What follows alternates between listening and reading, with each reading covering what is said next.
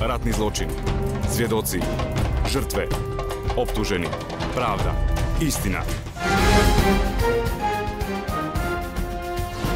Dobrodošli u martovsko izdanje emisije TV Justice, magazin koji realizuje Balkanska regionalna istraživačka mreža u Bosni i Hercegovini. Suđenje za ratne zločine, reforma pravosuđa, priče žrtava, počinilaca, kao i svjedoka zločina samo su neki od sadržaja koje gledate u našim emisijama, a koje možete pratiti i putem web stranice bim.ba. U naredni 25 minuta pogledajte. Apelacijono vijeće Suda Bosne i Hercegovine osudilo četvoricu bivših pripadnika prijedorske policije na ukupno 79 godina zatvora za ubijstvo preko 150 civila na Koričanskim stijenama. Iz neposredne blizine počeli pucati iz automatskog nožanja u tako postrojene ljude, nakon čega su tijela ubijenih padala u provaliju. Primjene različitih zakone na suđenjima za ratne zločine u Bosni i Hercegovini. Ne može se izvesti strožija kazna od one koja je postojala u vrijeme izvršenja djela. Dakle, to su osnovni principi krivičnog prava. Gošća ovo mjesečne emisije TV Justice, sudkinja Suda Bosne i Hercegovine, Azra Miletić. Vi kako god da presudite i bili ste, pratili ste suđenja, nikad niko nije zadovoljan. Da li smo svi jednaki pred zakonom? Pred krajem emisije pogledajte šta građani Sarajeva misle o tome. Ko ima para, ta ima i zakon i sve. A ko nema? Ko nema, ništa nema.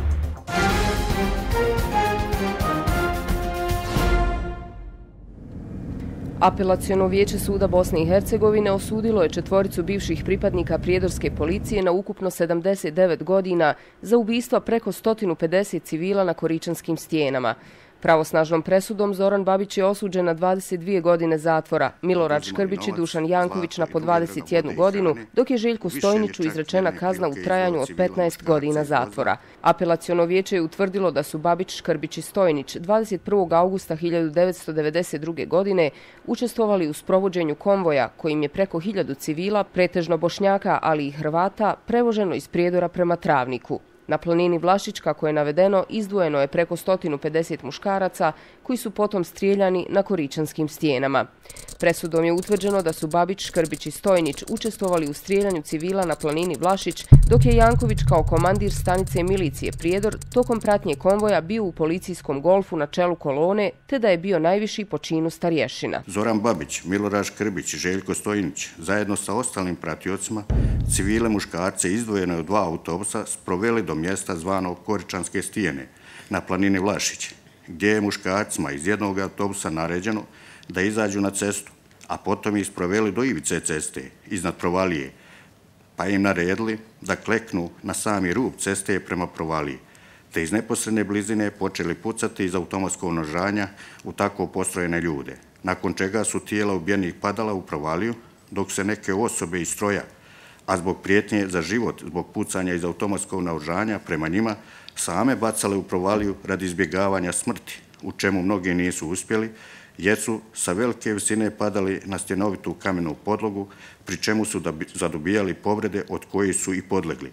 Babić i Stojnić su osuđeni za pljačku civila u konvoju, dok je Škrbić oslobođen. Vijeće je zaključilo da ubistva nisu rezultat ekscesa pojedinaca, već isplaniran zločin. Babić se nije pojavio na izricanju presude, pa je nakon što je apelacijono vijeće naložilo da odmah bude priveden, uhapšen isti dan.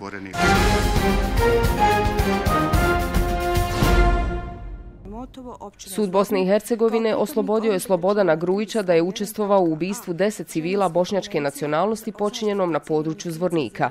Sudsko vijeće je navelo da tužilaštvo Bosne i Hercegovine nije predočilo dovoljno uvjerljivih dokaza da je optuženi kao pripadnik jedinice Baljkovica Vojske Srpske republike Bosne i Hercegovine bio sa izvršilac u ubistvima 10. maja 1992. godine na Pandurici. Iako je optuženi bio pored povezanih bošnjaka, vijeće je posebno cijenilo iskaz zaštićenog svjedoka A, koji je preživio strijeljanje i koji je kazao da se pojavio nepoznati vojnik i počeo pucati po civilima. Vijeće nije moglo zaključiti da je Grujić Grujić pucao u civile. Sudeću po iskazu ovog svjedoka, jasno je da se nakon što nepoznato lice otvara vatru na civile, istom pridružuju i ostali vojnici koji su učestvovali u njihovom vođenju, ali on nije vidio da li i optuženi Grujić Slobodan puca, niti je to ikada ikome ispričao. Na ovu presudu moguće je uložiti žalbu apelacionom vijeću suda Bosne i Hercegovine. Svjedok Prvi svjedok tužilaštva Bosne i Hercegovine na suđenju za zločine počinjene u Vogošći izjavio je da je upravnik zatvora Planjena kuća i bunker u kojima je bio zlostavljan i izložen teškim uslovima života bio optuženi Branko Vlačo. Svjedok Eset Muračević kazao je da su srpske snage napale njegovo selo Svrake početkom maja 1992. godine, nakon čega je oko 500 mještana zatvoreno u kasarnu Jugoslovenske narodne armije u Semizovcu.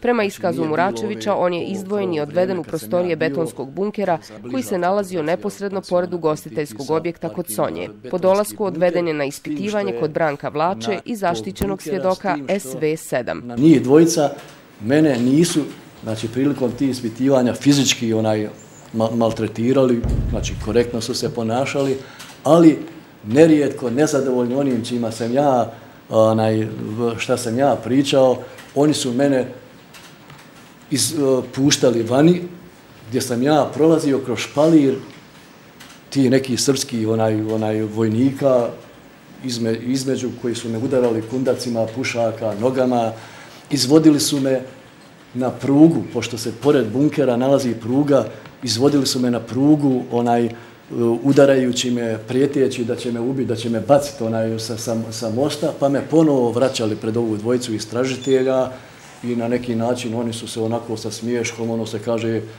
onaj čudili šta se to tamo na napolju dešavalo, pa da ja nisam bio svjestan da je faktički to bilo po, po, po njihovom onaj naređenju. Državno tužilaštvo tereti Branka Vlaču da je kao upravnik logora bunker planjena kuća kod Sonje i Nakina garaža uspostavio sistem kažnjavanja zatočenih civila u periodu od maja do kraja oktobra 1992. godine. Prema optužnici, zatočenici su zlostavljani, tjerani na prinudne radove i u živi štit, gdje su mnogi ubijeni, a na desetine ih se vode kao nestali. Vlačo je smatra tužilaštvo Bosne i Hercegovine silovao jednu žensku osobu.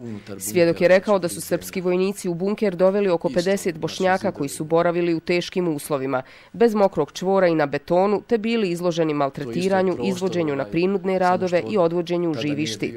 U nastavku iskaza svjedok se prisjetio dana kada su se u bunkeru pojavili vojnici koji su sebe nazivali šešeljevcima i koji su dva zarobljenika izveli i maltretirali. Kundacima pušaka, nogama, rukama, su njih mlatili, e, tjerali e, da skinu sa sebe odjeću, da zagaze u rijeku onaj pored koja protiče, repetirali puške u namjeri da pucaju u njih, pa i ponovo tukli, tjerali ih da uh, uh, jedni drugom polne organe, da, da homoseksualno opšte, a zamijetio sam da je na tom prostoru bio prisutan Branko Vlačo, i čini mi se da su tu bili još dvojica stražara, da li Zoran Marković i Zoran Kresojević i da na neki način nisu zaustavili orgijanje.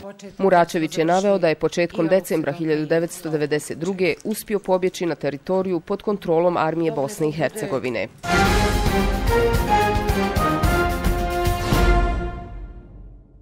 Na suđenju optuženima za zločine počinjene u Višegradu, svjedokinja tužilaštva Bosne i Hercegovine ispričala je kako je optuženog Ljubomira Tasića, zvanog Ljubko, vidjela u blizini mjesta gdje su žene, djeca i starci napustili autobuse, a muškarci prema optužnici odvedeni do jame Paklenik i ubijeni. Mirsada Tabaković je kazala da je u junu 1992. godine krenula zajedno sa dvoje maloljetne djece, ocem, bratom, snahom, te rođacima i komšijama iz Višegrada, nakon što im je rečeno da moraju napustiti mjesto Donji Dubovik iz bezbjednostnih razloga ili će u suprotnom biti pobijeni. Tabaković je navela da su kada je konvoj došao na Išerić brdo, srpski vojnici sa uperenim puškama naredili da djeca, žene i starci izađu iz autobusa. Sad zamislite kad izlazi iz svakog autobusa, znači istovremeno, ne pojedinačno, kad istovremeno se izlazi iz tih autobusa i sad koja to nastaje gužva, metež od, od nas sami, koja je to, koji je to strah kad je vojska čupa iz autobusa, kad žene padaju, kad djeca vrište, Ja ne znam ni gdje smo došli, ni što smo došli, hoćemo li biti tu striljani, hoćemo li biti negdje puštani, spašeni. U tom momentu znači ne zna niko, to je nastala opšta panika. U nastavku iskaza svjedokinja Tabaković je u sudnici prepoznala optuženog Tasića i rekla da je sigurna da ga je vidjela tog trenutka kada su napuštali autobus. Ja sam vidjela ovaj, Ljubka Tasića da je on e, stajao vjerujte sad, ja ne mogu vama sa sigurnošću reći, da li je ulazio da hoće ući u auto, da li je on bio kod naroda pa pošao prema autu, samo se to dešava kod vrata toga. Ona, iz profila ovaj dio, znači ja, obzirom da poznajem Ljubka Tasića stvarno, da mu znam lik, da znam, znači, Ja sam njega iz profila vidjela i sa sigurnošću znam da je bio Ljubko Tasić. Tužilaštvo Bosne i Hercegovine tereti Ljubomira Tasića zajedno s Predragom Ilisavljevićem i Milošem Pantelićem zvanim Panta za učešće u ubistvima, prisilnom preseljenju stanovništva, zatvaranju, mučenju, prisilnim nestancima i drugim nečovječnim dijelima. Milisavljević i Pantelić su ove zločine, kako se navodi u optužnici, počinili u periodu od aprila do juna 1992. godine kao pripadnici rezervnog sastava policije u Višegradu, a Tasić kao pripadnik Vojske Republike Srpske.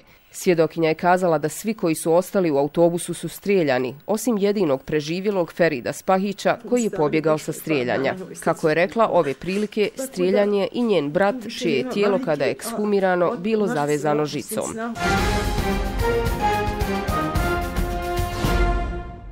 Primjene različitih zakona na suđenjima za ratne zločine u praksi se ogleda u blažim kaznama optuženima kojima se sudi po starom zakonu.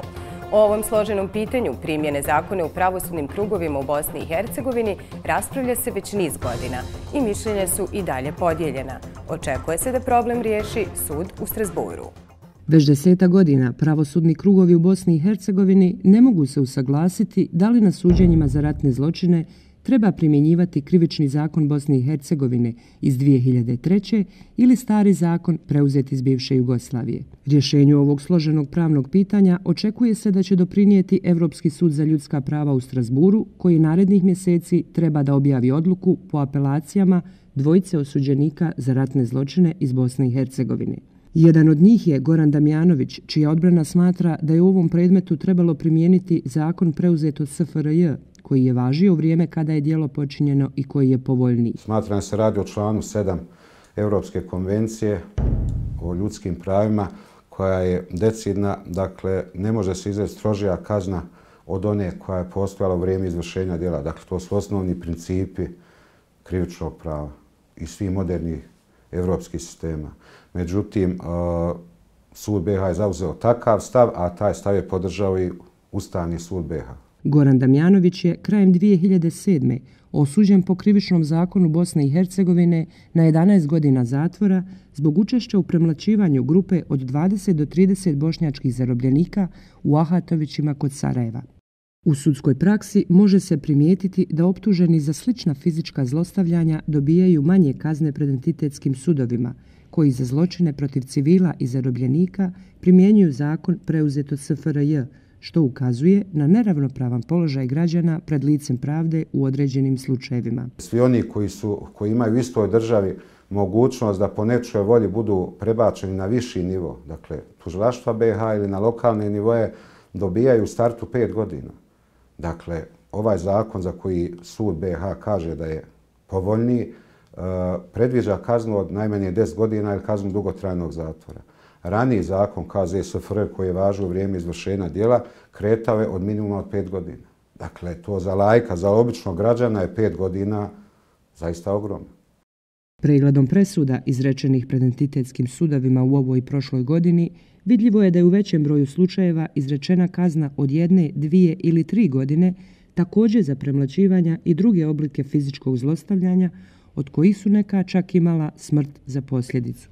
Ovi optuženi osuđeni su po zakonu bivše Jugoslavije, koji uglavnom primjenjuju kantonalni i okružni sudovi, kao i vrhovni sudovi Federacije Bosne i Hercegovine i Republike Srpske. Na mnogobrojnim konferencijama, okrugnim stolove, tako dalje, ja sam izgledan moj stav da su građani apsolutno nejednaki. Osnovni princip je da za izvršioca krivičnog djela važi na zakon koji važi u vrijeme izvršenja krivičnog djela. Tako da bi neka elementarna pravna loka govorila da, dakle, to je moj stav da bi ovaj, trebalo primijeniti onaj zakon koji važi u vrijeme izvršenja krivičnog djela i krivičnu sankciju koja važi u vrijeme tog krivičnog djela, sem tog jednog izuzetka krivičnog djela protiv ratnog zločina genocida. Iz početka su i naši stavovi bili možda malo preemotivni, malo pretvrdi iz nekih razloga kontaminizacije ovaj, samim ratnim sukoma i tako dalje. Ali smo tokom vremena e, pod utjecajem VSTV-a prije svega, zatim Nacionalnog odbora za sprovođenje strategije ratnih zločina na više razgovora, ti najviših sudova, najviših nivou BiH i otprilike smo počeli, da kažem, ublažavati i približavati naše stavove. Apelaciona vijeća Suda Bosne i Hercegovine odlučila su u nekoliko slučajeva unazad četiri godine primijeniti krivični zakon bivše Jugoslavije. I Ustavni sud Bosne i Hercegovine bavio se primjenom zakona na suđenjima za ratne zločine, razmatrajući žalbu Abdulathima Maktoufa, koji je osuđen za ratni zločin na pet godina zatvora zbog toga što je prevezao otete civile iz Travnika do muđahedinskog kampa. Ustavni sud je, razmatrajući apelaciju, zaključio da nije potrebno da se e, suštinski bavi pitanjem primjene blažeg zakona, već se okrenuo tumačenju člana 7 Europske konvencije, prema kojem e, je dozvoljen izuzetak od zabrane kažnjavanja i vođenja postupka u slučaju da u vrijeme izvršenja nekog dijela to nije bilo propisano kao krivično dijelo prema domaćem ili međunarodnom pravu, a izuzetak se odnosi na situacije kada je radnja prema općim pravilima međunarodnog prava u civilizovanim društvima predstavljala krivično dijelo. Ovu problematiku nedavno je dodatno podgrijala prepiska između sudije Suda Bosne i Hercegovine Branka Perića i apelacijonog odjeljenja ovog suda. Perić je zatražio da na opštoj sjednici budu zauzeti zajednički stavovi o primjeni zakona, što je apelacijono odjeljenje ocijenilo neprihvatljivim jer bi se time ugrozio princip dvostepenosti, odnosno pravo na žalbu. O primjeni zakona mišljenje će dati Veliko vijeće suda u Strasburu. Neki očekuju da bi odluka ovog suda mogla izazvati turbulencije, dok drugi smatraju da ona neće biti presudna. Član 327 eh, zakona o krivičnom postupku je jasan i on eh, decidno kaže laički prevedeno ukoliko eh, sud, Evropski sud za ljudska prava ili Ustavni sud BH utvrdi povredu bilo kojeg člana vezanog za, evropska, za ljudska prava i slobode, doće do ponavljanja postupka. Dakle, ukoliko to bude, govorim ukoliko to bude, ukoliko Evropski sud u Strasburu tako i presudi. Dovešće do ponavljanja postupka, o ponavljanju odlučuje isti sud, dakle ne isto vijeće, ali isti sud koji je i donio prvostepenu, odnosno drugostepenu presudu i to je osnov za ponavljanje postupka i za sve predmete koji su do sada pravomoćni gdje se ljudi nalaze na, na izdržavanju kazne. Očekujući odluku iz Strasbura, Ustavni sud privremeno je obustavio rješavanje drugih apelacija koje se odnose na primjenu zakona. Mislim da se odluka Evropskog suda može očekivati do polovine ove godine i to će biti putokaz za primjenu standarda prije svega od strane domaćih redovnih sudova u Bosni i Hercegovini, a naravno i Ustavnog suda. Nisam siguran gdje je tužbeni zahtjev, čak a kamo je da će ta odluka biti ovaj, nešto drugo nego rezultat nekih kompromisa, nekih rješenja koja su ovaj, malo drugačija nego što mi je očekivali onako direktno da kažu da, da, da, da, da treba suti jednom pravcu.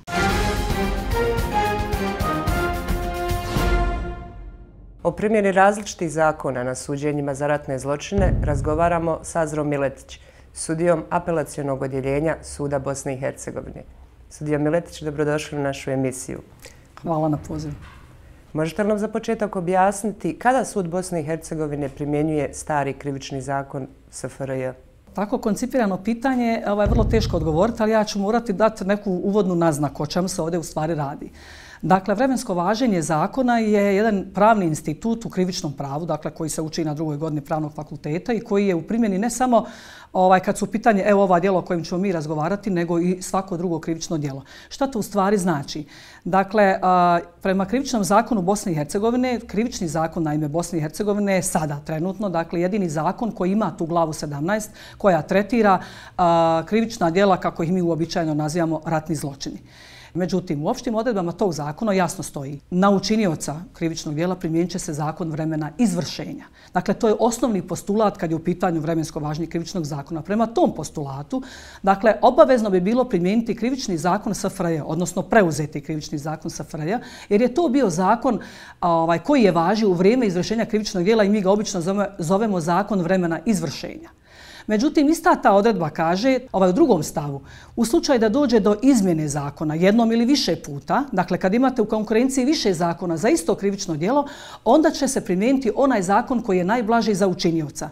U praksi mi to kažemo koji je najpovoljniji, koji će dovesti do najpovoljnijeg ishoda za učinjivca. E, sud Bosne i Hercegovine u posljednje vrijeme češće se opredjeljuje da primijeni taj stari zakon. Početkom uh, funkcionisanja odjela 1 za ratne zločine Suda Bosne i Hercegovine, to je negdje 2005. godina, Dakle, uh, mogu reći sigurno 99% optužnica su glasile zbog krivičnog dijela zločini protiv čovječnosti. To krivično dijelo nije bilo propisano zakonom vremena izvršenja, znači preuzetim krivičnim zakonom sa FRJ, nego je ono propisano u krivičnom zakonu Bosne i Hercegovine. I ako pogledate sada, ako sistematizujete krivična dijela po kojima smo mi sudili, vidjet ćete da su to uglavnom zločini protiv čovječnosti.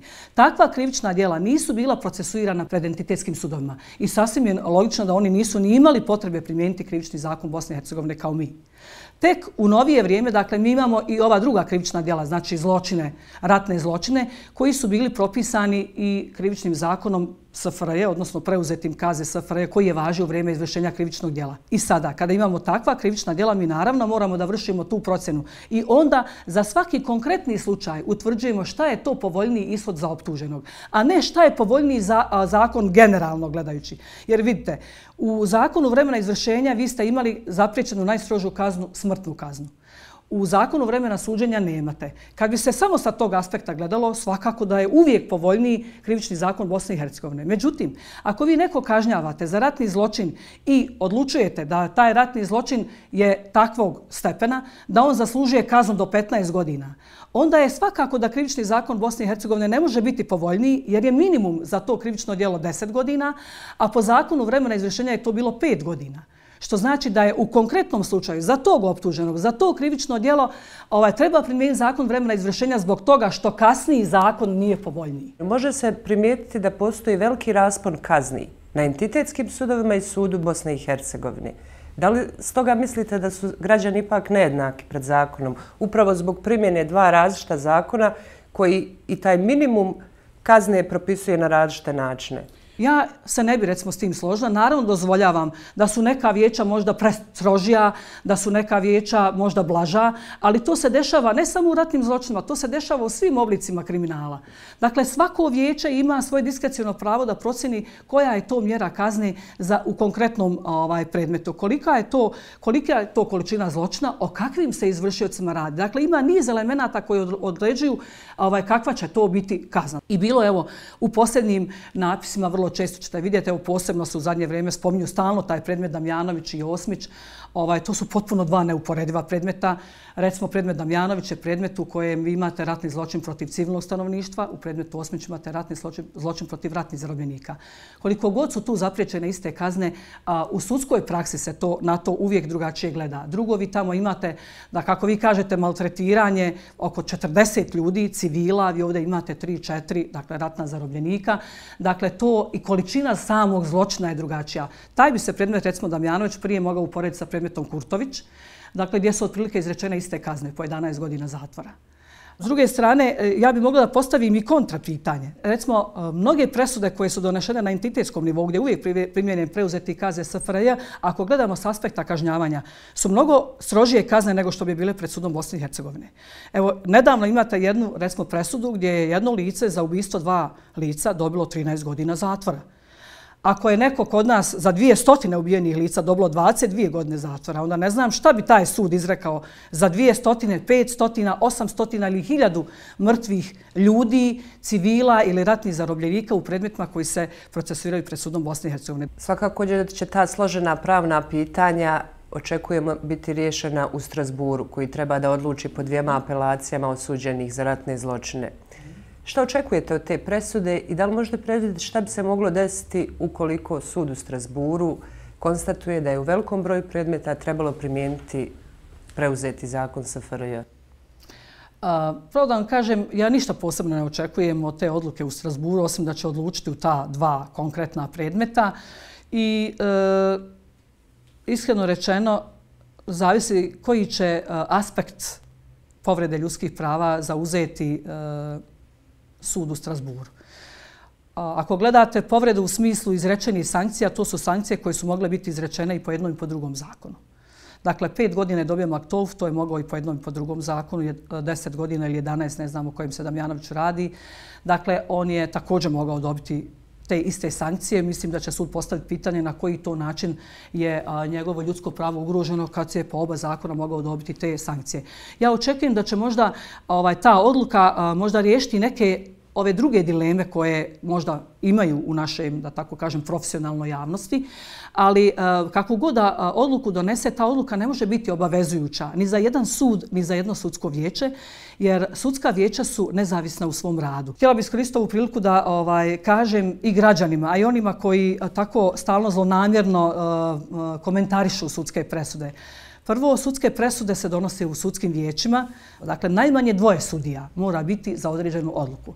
Prema tome, kad vidite te napise da se stalno i uvijek poimenično navodi jedan sudija, u ovom slučaju sam ja, znači vi imate vrlo zlonamjerna pisanje i želite da nešto, da nešto, ovaj, da tako kažem, stavljate na teret ili spočitavate baš to jednoj osobi.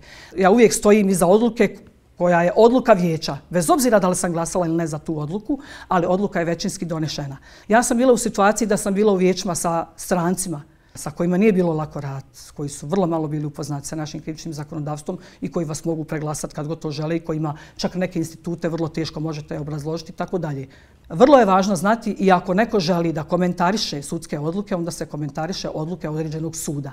Ni sudija, ni vijeća E, komentarisanje sudskih odluka na nekakvom, da tako kažem, višem stručnom nivou treba ostaviti za stručne kolegije, za stručne okrugle stolove, na kraju kreva za stručne radove, neka svako, ali sa aspekta argumentacije, a ne iznositi neke poluistine i polučinjenice i stvarati zaista još gore ovaj zabura, još gore zbunjivanje kod ljudi i pritome stvarno e, stvarati tu neku ovaj atmosferu da se uvijek radi protiv nekog naroda, ovaj, i da se na takav način ovaj, ruši ugled suda, kredibilitet suda, na kraju krajeva građani dolaze na sud po pravdu. I mi se zaista trudimo da i taj jedan aspekt suđenja bude ostvaren, dakle da se ostvari i pravda, naravno, i to je relativan pojam. Vi kako god da presudite i bili ste, pratili ste suđenja, nikad niko nije zadovoljan na koncu mi nismo tu da budemo da se sviđamo i da bude da svi budu zadovoljni nama, nego da primjenimo zakon i da uradimo po svom najboljem znanju i po svom profesionalizmu. Sudija Miletić, hvala vam na gostovanju u našoj emisiji. Hvala i vama na prilici evo da kažem ovo barem nekakvo da tako kažem, uh, jednostavno je suštinsko obrazloženje i opet uh, ističem na ovo jedno vrlo teško, vrlo složeno pitanje oko koje se ni profesionalna javnost ne slaže i koje će još možda dugo vremena izazivati ovaj potrebu za uh, raznim raspravom, ali eto, mislim da nekakav običan čovjek može da vidi u čemu se to u suštini ovaj, radi. Da li mislite, jesu li građani jednaki pred sudom i zakonom? Ne, nisu. Građana uopšte nema ovdje. Misliš da nisu svi isti pred zakonom? Pa nisu svi isti, ima ih svakaki. Nisu, nisu, nisu isti. Zašto? Pa nisu, ne možemo biti isti. Rančka klasa i ovi malo gore u vrhu, ne može biti. Pa dobro, kajem, pred sudom jesu, ali ovako nisu žutu. To sam. Ma nisu. Ko ima para, ta ima i zakon i sve. A ko nema? Ko nema, ništa nema. Jesu građani jednaki pred zakonom na suđenjima? Apsolutno da su jednaci. Odnosno jednaki jer imaju kontrole, imaju sve to mislim ona. Onaj ko ima više para i ima ljudi na poziciji, sam bolje prolazi nego mi obični građani. Mislim da su e, da su to pojedinačni slučajevi, ali ih ima. Mislim, vidimo kroz dešavanja, kroz svijet, kroz medije, kroz svakodnevni život da medalja ima dvije strane. Nažalost, pitajte to. Drugo, ja nemam iskustva sa sudom, nisam imao nikakvih poslova, nisam imao poslova. Hvala. Mislim da oni koji imaju novac, moć, to da se mogu osloboditi i optužbi i svega što treba. Zna se ko je ko ima ovaj privilegije pred sudom zakonom, oni koji su moćni, koji imaju glas, koji ova a sitna buranija, znate, Znate kako prolaze, koji uvijek.